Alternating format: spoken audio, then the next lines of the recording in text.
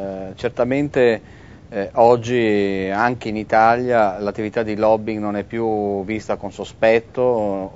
o come una, qualcosa di collaterale di cui non ci si deve troppo fidare. I lobbisti non sono più dei loschi figuri che si aggirano nelle stanze, nei corridoi eh, delle attività parlamentari, ma sono dei professionisti che conoscono bene la materia e che aiutano il legislatore o il decisore a prendere la, la decisione migliore. Ovviamente portano una delle posizioni, la posizione della propria azienda o del proprio cliente,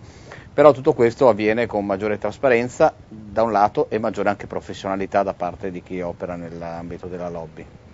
Il modello americano nasce da mo- molto lontano, è stato il primo paese a aver introdotto e regolamentato la lobby e quindi forse si può permettere in questo stato evolutivo anche delle sanzioni eh, per chi trasgredisce, perché è dentro il sistema, il sistema de- della lobby. Io credo che l'Italia oggi farebbe già dei grandi passi in avanti se riconoscesse e eh, eh, si adeguasse a un sistema europeo, quindi un sistema di regole deontologiche. Eh, nella legge italiana presentata dal ministro Sant'Agata c'è eh, un albo, ehm, credo che le, le, le sanzioni, che pur forse in un certo momento dovrebbero arrivare oggi forse sarebbero ridondanti, farebbero forse non fare passi avanti al sistema diciamo, dei lobbisti, ma anche dei decisori no? che devono in, abituarsi a confrontarsi con i lobbisti e quindi sarei più per la gradualità. È un sistema regolamentato, è un sistema che aiuta innanzitutto perché dà un riconoscimento all'attività di lobbying che come dico è molto cambiata, eh, però ancora ha delle zone d'ombra da, nel, nel, suo riconoscimento, diciamo così. l'avere un albo, avere una regolamentazione, rispettare dei codici deontologici alla fine eh, portano sicuramente a un'affermazione di questo mestiere così particolare, così, così nuovo, eh, nuovo per modo di dire perché poi lobby si è sempre fatta forse dall'antica Roma eh, in giù, però è fatto in maniera moderna, eh, quindi credo che le aziende hanno solo da guadagnare, sia le aziende con la sua diciamo, truppe di lobbisti, sia le società di consulenza che si, ovviamente lavorano per un committente che spesso è un'azienda o un gruppo di interessi. Insomma. Il mio è un ruolo molto di coordinamento e di lobby ovviamente di più alto livello, però se calcolo il, il tempo della mia direzione, diciamo, de, di guida della mia direzione, che mi ricordo riguarda tutti gli aspetti delle relazioni esterne, quindi dalla comunicazione alla lobby nazionale e internazionale, direi che forse siamo intorno al 55-60%.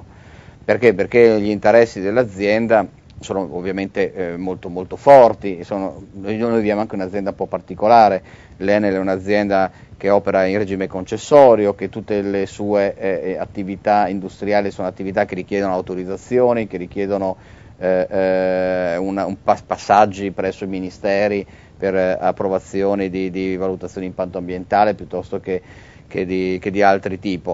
in più in un mercato eh, regolamentato, il mercato elettrico, da un'autority, quindi insomma, se vediamo ogni passaggio della nostra azienda ha un qualche intervento o legislativo o decisorio o amministrativo o insomma, di ministeri centrali o di eh, governi locali. Quindi l'attività lobbistica è veramente importante per poter dire, trasferire gli interessi dell'azienda per un pubblico così ampio. Cambierà molto il modo di lavorare perché cambiano le istituzioni, cambia il modo di intendere il rapporto tra impresa e istituzioni. Sempre di più il lobbista non è un qualcuno che si occupa solamente della proposta tecnica rispetto agli interessi della propria azienda o della propria organizzazione, ma sempre di più deve essere una persona che capisce l'agenda politica, capisce l'agenda anche comunicativa del momento e sa inserirsi con la proposta più utile alla propria azienda nel contesto dato. Come in tutte le cose, eh, delle proposte buone in un momento sbagliato non passano e così anche nell'attività di lobby. E quindi la capacità non è solo quella diciamo, legale di scrivere un emendamento, eh, politica di conoscere il parlamentare, il ministro o quant'altro, ma è anche di capire il contesto in cui tutto questo opera. E questo utilizzando ogni leva del, della lobbying, quella ovviamente politica nei confronti del eh, decisore in one to one, quella diciamo così, eh, eh di relazioni esterne attraverso i media che possono fare una pressione eh, di interesse dell'azienda verso il decisore politico, quella di eh, dire, creare quel contesto positivo verso la proposta che si vuole portare e che quindi convinca in, ma- in vari modi eh, il decisore che la strada che propone il lobbista è quella buona. Le grandi aziende sono ovviamente molto strutturate e quindi hanno spesso in casa tutte le capacità per andare a fare lobbying nei diversi ambiti del, della decisione pubblica, pensi alle regioni, ai comuni, al, al, ehm, al Parlamento. Eh, ci sono dei casi nei quali quindi, insomma, la, la, la, la, consulenza si, eh, è, molto più utile alla multinazionale che non ha strutture importanti eh, nel paese o alle piccole e medie aziende. Però ci possono essere anche dei progetti che, come dico, pos- comprendono magari in maniera eh, più completa non solo l'attività di lobbying one to one con il parlamentare o il decisore, ma che, richiedono una strategia, una conoscenza del territorio, una conoscenza del contesto molto più ampia nella quale il consulente può avere un know-how che l'azienda non ha. Mi riferisco a singoli progetti, uno deve costruire una centrale in una regione e magari in quella regione le sue forze sono deboli perché ha tanti tecnici, non ha nessun eh, lobbista, nessun esperto di relazioni esterne, allora lì il supporto di una società di consulenza può essere vincente.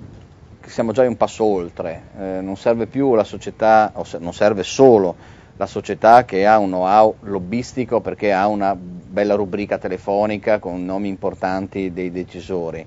Eh, serve anche un uh, approccio intelligente e di conoscenza del contesto affinché appunto non sia un passacarte delle esigenze delle aziende verso un interlocutore, è pur importante che si conosca, però non basta più quello. Eh, l'importante è anche capire il contesto, capire i tempi e come ho detto arrivare al momento giusto con la proposta giusta, spiegata nel modo giusto. Io non, non vedo questo contrasto tra l'interesse nazionale e la somma degli interessi particolari. Eh, ovviamente il gioco deve essere fatto con le regole, deve essere fatto in, con trasparenza,